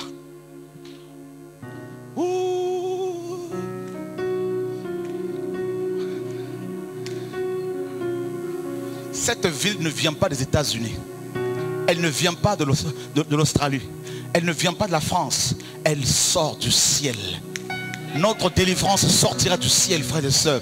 Nous devons lever nos yeux, vers le ciel. Je lève les yeux vers les montagnes. D'où me viendra le secours Le secours me vient de Yahweh qui a fait le ciel de la terre. Alléluia, oh, alléluia, alléluia, alléluia. Pendant des années, nous chrétiens, nous avons, mes amis, nous nous sommes arrêtés sur les hommes. Mais aujourd'hui, nos regards sont vers le ciel. Alléluia. Je veux te rassurer, tu ne mourras pas. Jeune homme, toi qui veux vivre Dieu, toi qui veux expérimenter Dieu, jeune fille, ma soeur, mon frère, le Seigneur t'a attiré ici pour te dire qu'il t'a oint pour son œuvre. Il t'a appelé pour aller annoncer l'évangile comme un chauffard. Tu vas sonner le chauffard de plus en plus dans cette nation. Dieu vient briser cette glace. Alléluia. Il y a des songes, des visions que Dieu vous a données. Vous le verrez se réaliser au nom de Yeshua. Alléluia.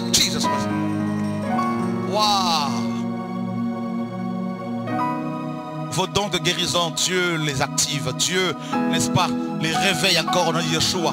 Quand tu t'es converti, tu prophétisais beaucoup, tu parlais beaucoup en langue, tu priais beaucoup. Et depuis quelques temps, à cause des problèmes que tu as connus, à cause des situations, des déceptions, tu as perdu ces choses. Dieu aujourd'hui vient vers toi, il pose sa main sur ta vie et il est en train de te réveiller, de te renouveler, de te, oh alléluia, de changer ta vie.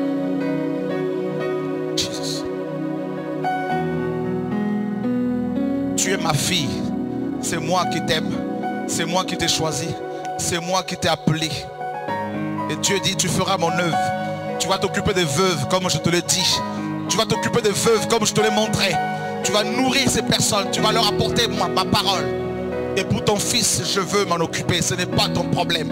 Je m'en occupe. J'ai entendu tes prières par rapport à ton fils. Femme, je veux le visiter. Je veux le, le, le régénérer. Je veux le guérir à cause de mon nom, à cause de mon nom, à cause de mon nom, à cause de mon nom. Jesus. Wow. Même si tout le monde te rejette, le ciel t'attend. Tu te sens étranger sur terre, oui, c'est une réalité. Tu te sens incompris. Tout est difficile pour toi, tu n'en peux plus, jeune homme. Tu es mon fils. N'est-ce pas que tu veux voir le Père? N'est-ce pas que tu aimes voir le Père? Tu veux que le Père se révèle de plus en plus à toi? Tu te sens seul? Je veux et je serai ce Père que tu as tant désiré, que tu recherches tant. Et je t'aime, je t'aime et je t'aimerai encore. Tu es comme Paul, tu es comme Jérémie, tu es comme Miché. Tu es dans la solitude. Tu feras l'œuvre dans la solitude. Tu vas crier, crier, crier encore. Oui, tu n'as rien, mais tu as tout avec moi. Je suis et je serai ton or. Je suis et je serai ta richesse. Je marcherai au-devant de toi. Oui, l'ennemi t'envoie des pensées pour te briser. Mais je marcherai, je marcherai encore, je marcherai au-devant de toi. Et tu me suivras partout. Je te conduirai de pays en pays pour aller sonner le chauffard. Je te donne la jeunesse. Tu vas t'occuper de la jeunesse. Tu vas crier auprès de la jeunesse. Beaucoup de jeunes seront touchés par l'évangile, par le royaume de Dieu. Des couples au bord du divorce. Telle est ta mission. Tu vas annoncer un message qui restaure des couples.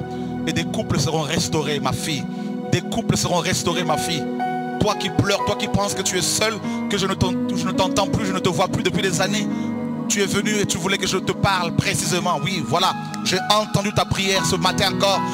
J'étais là dans ta chambre quand tu pleurais. J'étais là, mon enfant, j'étais là. Voici ma main sur toi. Je veux changer cet homme. Je veux toucher cet homme. Je veux guérir cet homme. Je veux visiter cet homme pour qui tu as prié. Je veux le rencontrer personnellement.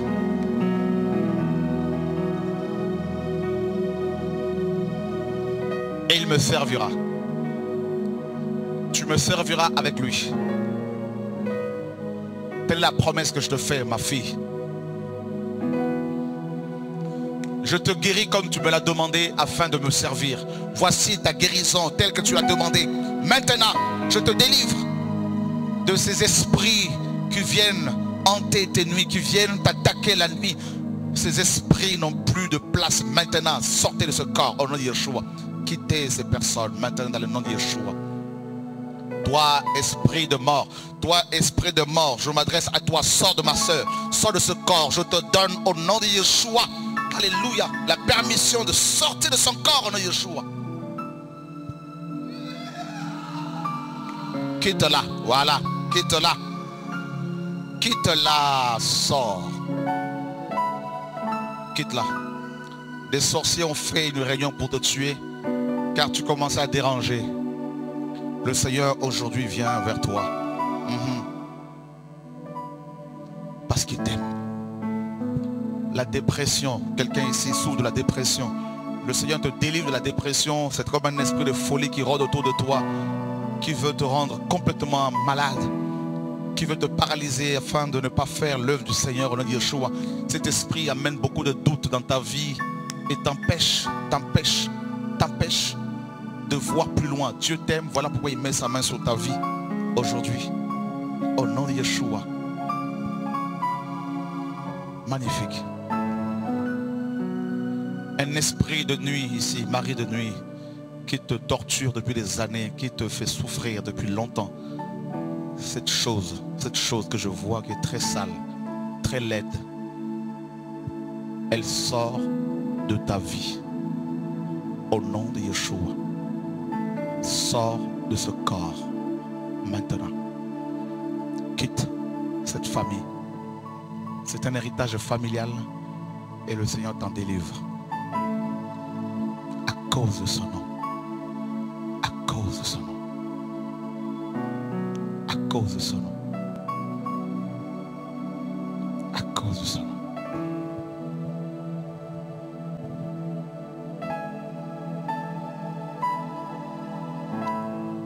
Mal de dos que le Seigneur a guéri. Fini ce traitement qui ne marche pas. Voilà cette guérison, tu peux bouger ce dos. Une guérison qui t'est accordée à Yeshua. Ce diabète est en train de te tourmenter. Le Seigneur l'enlève. Maintenant, sors d'elle. Sors. Sors au nom de Yeshua. Quitte ce corps. Ce n'est pas un diabète normal.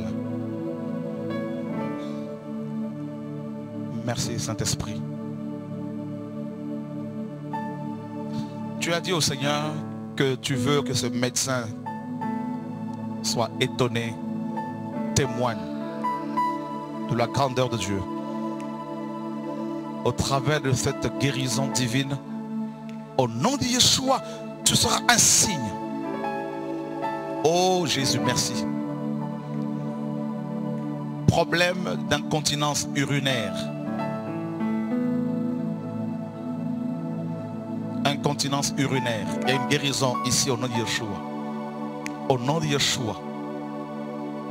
Problème de colère ici. La colère. Tu n'en veux plus. Tu veux te débarrasser de la colère. Et le Seigneur vient poser sa main sur ta vie et il te libère de la colère au nom de Yeshua. Alléluia. Gloire à Dieu. Le Seigneur guérit ton cœur qui était beaucoup blessé. Beaucoup, beaucoup blessé. Il enlève toute cette colère, cette amertume, cette douleur au nom de Yeshua ces blessures. Tu as été beaucoup rejeté. Le Seigneur met sa main sur ta vie et te console. L'amour du Père est en train de soigner vos cœurs aujourd'hui, de soigner nos cœurs, de restaurer nos vies en profondeur au nom de Yeshua. Voilà, ça sort, ça sort, ça sort, ça sort. Alléluia.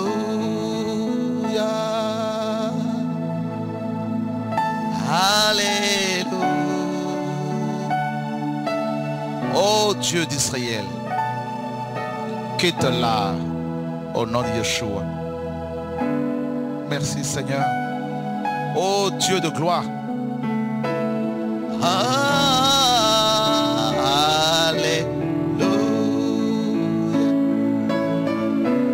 y a un appel sur vous par rapport à la jeunesse, la mission. Dieu vous enverra en mission beaucoup. Vous allez beaucoup voyager pour le Seigneur. Vous allez découvrir des pays, plusieurs pays, des pays pauvres. En tant que missionnaire, c'est le Père qui va se révéler particulièrement à vous. Le Seigneur voit vos questions, entend, entend les douleurs de vos cœurs.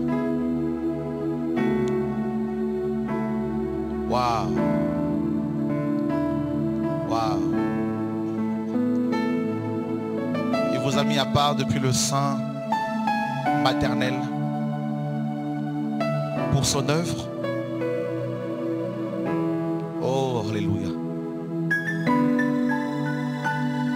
Une onction, une forte onction vous accompagnera. Une forte onction, une onction de guérison, de délivrance. Au nom de Yeshua. Waouh.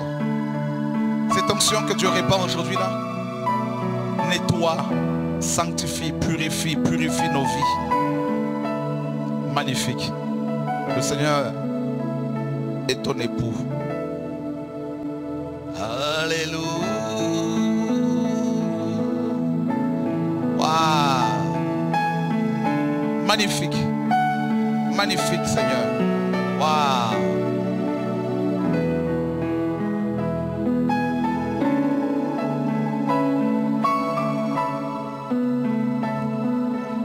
Ici qui reçoivent des cantiques de la part du Seigneur, qui reçoivent des chants. Le Seigneur va de plus en plus vous pousser, vous encourager à travailler dans ce domaine, à recevoir des chants, des chants nouveaux, des chants qui vont être utilisés par le Seigneur pour fortifier, pour guérir des cœurs malades. Il y a une personne qui souffre du VIH, particulièrement qui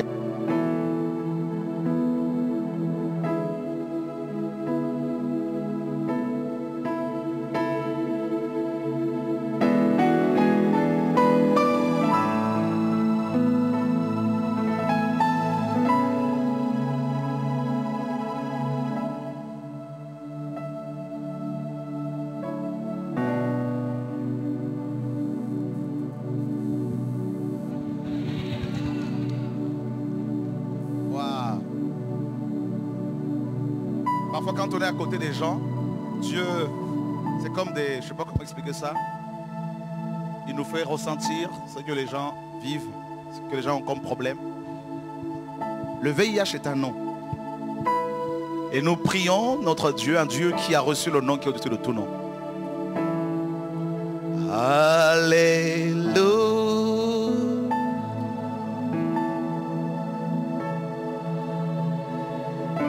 Sois guéri de ce mal. Au nom de Yeshua.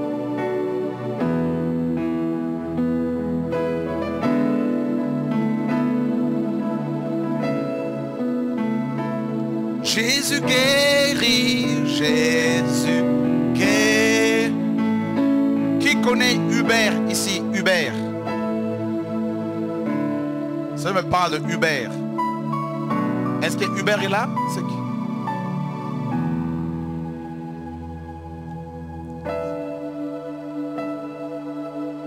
C'est bon, c'est réglé.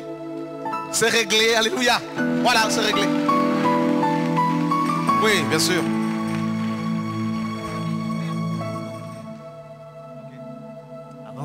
Ici, j'ai dit au Seigneur, si cet homme est vraiment le serviteur de Dieu, si je vais ici, je ne vais pas aller me présenter devant lui-même, lui-même qui me doit. Donc c'est ce qu'il fait.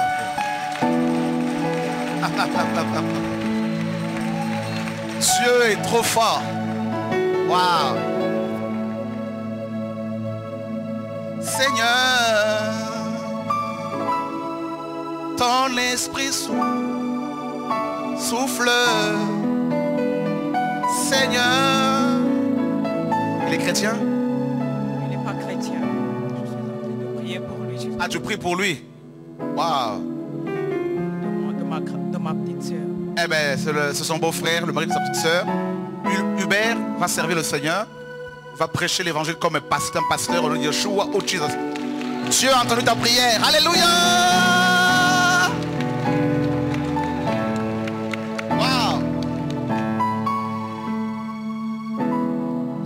Qui souffre d'une maladie, de maladie de peau, la peau qui... Waouh, une belle onction là, vraiment là, c'est magnifique. hein la peau qui te gratte. C'est comme, c'est comme, euh, ça brûle. hein. C'est comme, euh, c'est comme si tu étais, ça brûle et ça tire, ça tire, ça tire. Et euh, une guérison pour cette peau là. On a dit Yeshua, alléluia. Toutes ces plaques là, tout ça là qui peuvent apparaître, tout ça là, tu vas voir, on a dit Yeshua. Le Seigneur, il te guérit définitivement. A dit Yeshua. Oui, bien. Ah ouais, tu es à côté, hein. tu, as, tu profité à côté du frère que le Seigneur a visité. oh, Dieu l'aime, Dieu l'aime, Dieu l'aime, Dieu l'aime. Oh.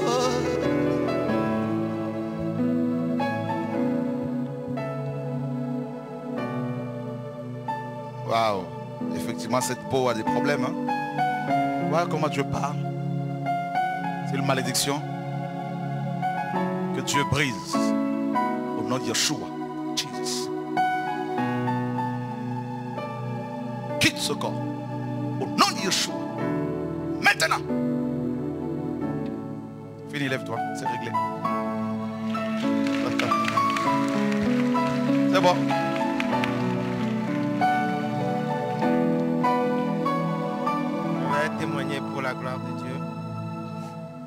Ça fait longtemps que je suis euh, TVD, ça fait quelques mois. J'étais le 19 à Paris. J'étais la semaine qui a suivi à Évry.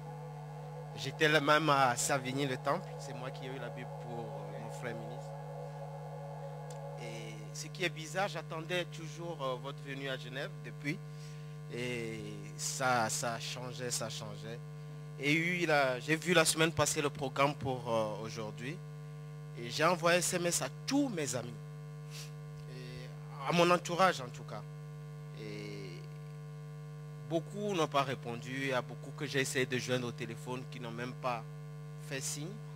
Et à lui, je parlais de TV de vie la dernière fois et on a eu au moins une heure ou deux heures de discussion sur euh, la dîme, les choses comme ça. C'est souvent un débat pour commencer. Et puis, euh, par la grâce de Dieu, il m'a demandé comment il trouve ça sur Internet et je lui ai dit, il est allé voir lui-même. Trois jours après, il m'a appelé, m'a dit, c'est chaud mon frère. C'est la parole, la parole, la parole véridique. Et là, il m'a rien dit. hein. On est venu il a. Il est, il est la seule parmi, la seule personne parmi toutes les personnes que j'ai invitées. C'est son jour. Et c'est mon jour aussi. C'est la journée. C'est la. Alléluia. Ceux qui veulent le baptême, courez ici. Ceux qui veulent se faire baptiser, on va vous baptiser tout de suite. Venez. Qu'elle soit pour nous. Alléluia. Waouh. Un sujet de joie. C'est la journée. Alléluia.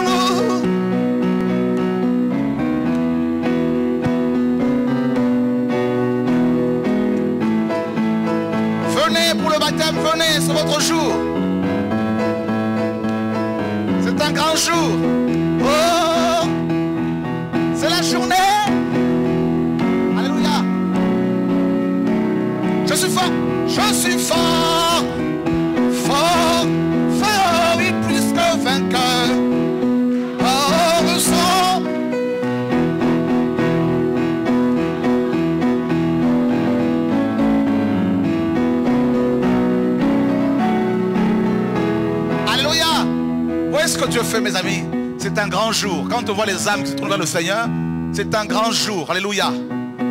Waouh. Vous voulez tous le baptême aujourd'hui. Magnifique, magnifique. Waouh.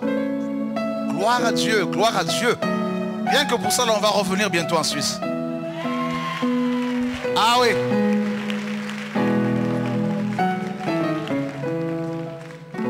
Waouh. Les, les piscines sont... On, a, des piscines là, c'est bon On a des, piscines? Magnifique, magnifique, magnifique. Ma vie a été créée par toi et pour toi, Jésus. Oh. Waouh Tous ensemble, on finit par là.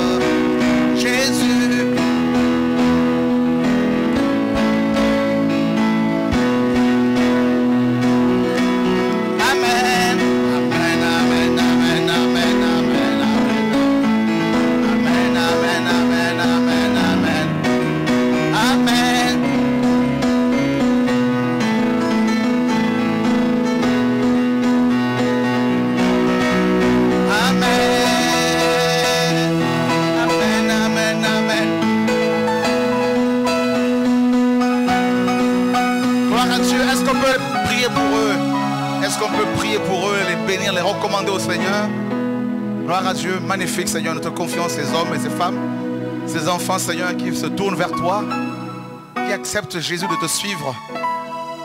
Ils vont suivre non une religion, non des hommes, Seigneur, mais toi et toi seul. Et Papa, nous voulons te confier leur vie. Garde-les, Seigneur, sous l'ombre de tes ailes.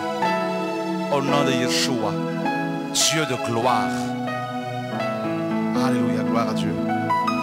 Merci, Seigneur. Amen. On est ici jusqu'à quelle heure? À quelle heure? 18 heures. En fait, euh, moi je voulais témoigner parce que j'avais eu euh, un songe où j'avais rêvé euh, de frère Choura. Personnellement, j'avais dit aujourd'hui, Dieu nous donne vraiment la chance que nous puissions assister à cette réunion de réveil.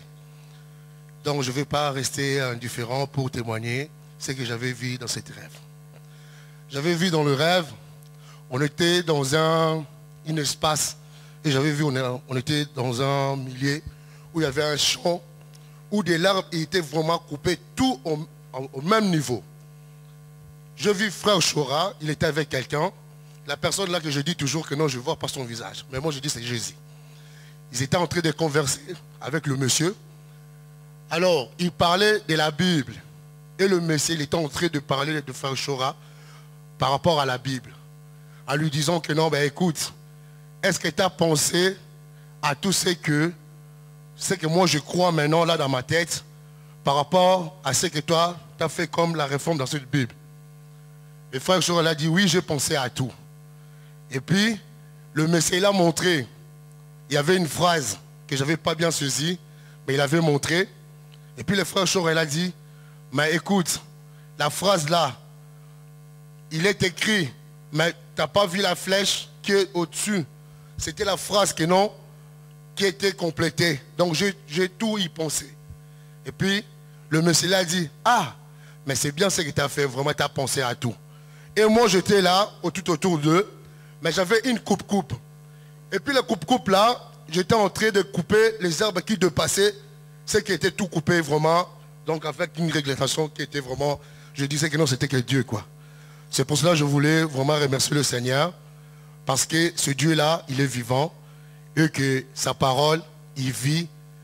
Vraiment personnellement, je ne sais pas, j'ai- je suis émis par rapport à, à cette vision. Et j'ai béni le Seigneur. Et c'est pour ça que je ne voulais pas rester indifférent par rapport à ce que j'avais vu dans mon rêve. C'est pour cela que je voulais partager ça avec vous. quoi. Voilà, merci beaucoup.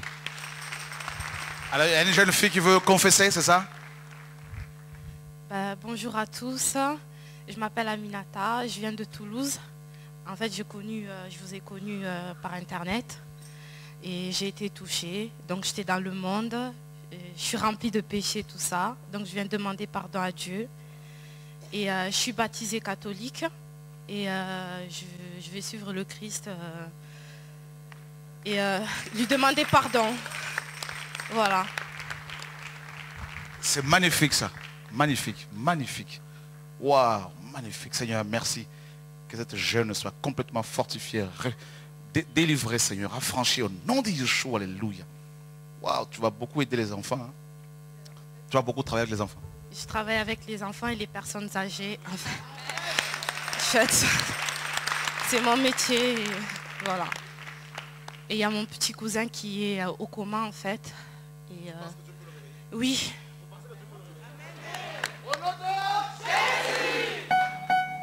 Et que la paix soit dans ma famille euh, et tout ça. Magnifique. Dieu. Cet après-midi, je ne sais pas ce qui va se passer, mais je sens que. Ouh, Alléluia. Ah, il y a une onction. Aïe. Aidez-la, aidez-la, aidez-la, aidez-la. Waouh, une belle onction sur moi là. Waouh. Waouh. Aidez-la, aidez-la. Une onction sur elle. Aidez-la, aidez-la, s'il vous plaît. Oh, alléluia. Une onction là sur moi, là, d'un seul coup là. Waouh. Belle présence. Ne vous inquiétez pas, ça c'est- biblique et tout ça là. Aidez-la, aidez-la, il y a une onction sur elle aussi là. Oh, alléluia. Jesus. Sur elle aussi là, il y a une onction sur elle là. Waouh. Waouh. Aidez-la, aidez-la, il y a une onction là. Waouh. Waouh. Waouh. Magnifique, magnifique. Aidez-la, aidez-la, ici là. Une onction là de guérison là, de restauration là. Waouh, waouh. Ouh. Waouh, waouh, waouh, waouh, waouh. Il se passe des choses ici là, mes amis. Là. Oh, il y a des choses. Regarde, l'onction là. Waouh. Je n'ai rien. Tu es l'air que je respire. Il y a une onction là, d'un seul coup là sur. Waouh, waouh. Il y a une onction sur elle là. Waouh. Amène- Amène-la, amène-la, amène-la. A une onction d'un seul coup sur moi. Aidez-la. Oh, alléluia, Jesus. Waouh. Aidez-moi. Il y, a- une onction sur moi là, mes amis là. Waouh. C'est terrible ici là. Oh, Jesus. Jesus. Waouh. Comme des fleuves d'eau vive. Elle va beaucoup chanter pour le Seigneur, cet enfant. Waouh. Ouh, Alléluia. Il y a quelque chose de magnifique là, magnifique, magnifique, magnifique, magnifique, magnifique.